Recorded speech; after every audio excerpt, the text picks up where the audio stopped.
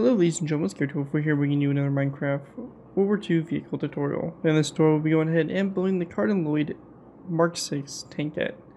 The Carden-Loyd tankettes were a series of British pre-World War II tankettes, the most successful of which was the Mark 6. The only version built in significant numbers. It became a classic tankette design worldwide, was licensed built by several countries, and became the basis of several designs produced in various countries. So yeah, the Carden-Loyd tankette, a kind of uh, interesting vehicle, I guess you can say. Uh, very small tankette, as the name explains, and basically it really wasn't much of a tankette as even then.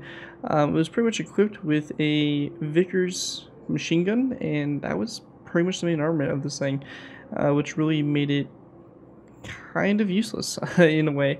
At least when you had comparable tanks like the L3 um, slash 33. They were equipped with some of them up to 20 millimeter guns and uh, later on flamethrowers and stuff. And the Carden Loyd tankettes were basically nothing in comparison. They were these small, very lightly armored, very lightly armed little tankettes that were basically just mobile pillboxes that could easily get taken out by majority of weapons. Um, so yeah, really interesting tank, uh, but also a really bad one um, as well. So cool stuff there. Um, anyways, kind of diving into taking a look at it. As you can see, it's got a super low profile. Um, as the tank's kind of main design element is it's a super small one. Um, its max, uh, height was only about 1.22 meters, and 2 to 1, it's about two, a little over 2 blocks. And you can see here, that's pretty much where we're sitting at. So, a very low uh, profile tank, and um, very interesting. As you can see, we have pretty much no space for crew. Um, this is theoretically where you would have a gunner and a driver, and that would be consist of the crew. Obviously, a very small vehicle, pretty, um, you know, simple and uh, you know overall, you know, decent looking design.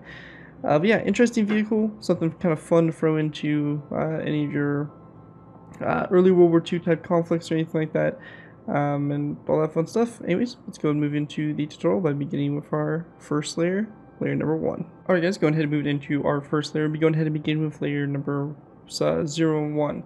For these layers here, to go ahead and get started with, we're going to go to the side of the brick stair and place down an item frame, and then in the item frame, we're going to place down a green stained glass pane. We then want to go over from the nether brick stair, 1 and 2, dark oak wood top slabs, and then we're going to place down a dark oak wood sign, come off the nether brick up down stair, and same thing over here on this side as well. We then want to place the item frame on the side of the nether brick stair, followed by a green stained glass pane in the item frame like so. From this, we're going to place down two dark oak wood slabs back from these two nether brick stairs, and on the sides here of these two uh, dark oak wood slabs, we're going to place down two item frames with green terracotta blocks in the item frames, and we're going to go ahead and do uh, dark oak wood signs over the item frames um, like that. And we're going to go and just do the same thing over here to this side as well. So just like that.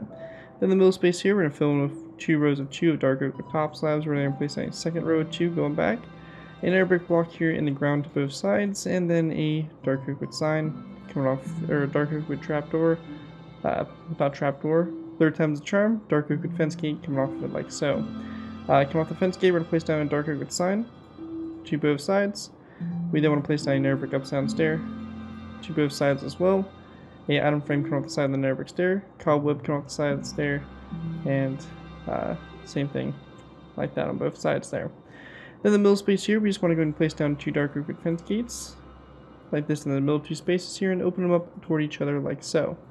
With that out of the way, that's going to wrap up layers 0 and 1. Let's move into layers uh, 2 and 3.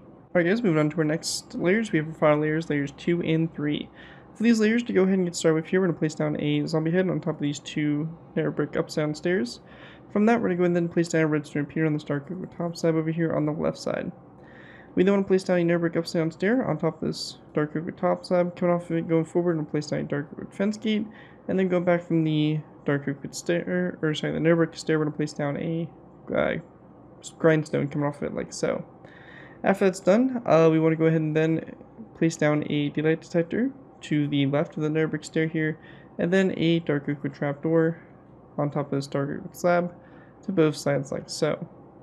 We're going to then take a mossy cobblestone wall. We're going to place down a mossy cobblestone wall on both sides, a green shulker box here next to this grindstone like that.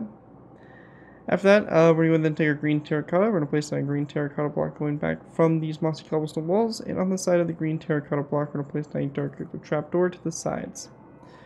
We then also want to go ahead and grab ourselves some jungle, or sorry, some acacia wood trapdoors. We're going to place down a row of two in the middle here and open them up like so to create the backing of the seats here for both the driver and the gunner. After that, uh, coming off the two trapdoors here, we're going to place down two dark wood trapdoors like this.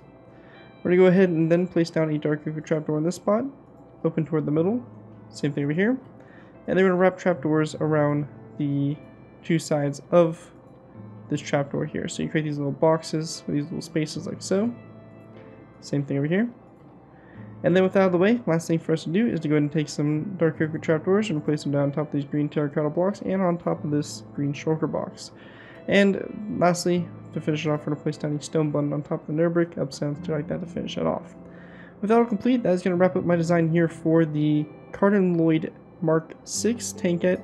Hope you guys do enjoy this design for it. It's a pretty straightforward little build and something kind of fun and part of uh, British history and part of that funky interwar period where there's a lot of weird tanks that really uh, are just really dumb, to say the very least, and this is one of those tanks. Anyways, hope you guys do enjoy this build. If you do end up using it, I do actually guys give me proper credit for it. This been thing from some build to my channel or this video if this is a brand social media sites. As long as you guys give me proper credit for it, you're free for projects you guys are working on. Overall, enjoy the build, have fun with it, and all that fun stuff. Um, but other than that, thank you guys all so much for watching. As always, don't forget to like, comment, and subscribe. This has been your 2 and I'll see you guys next time.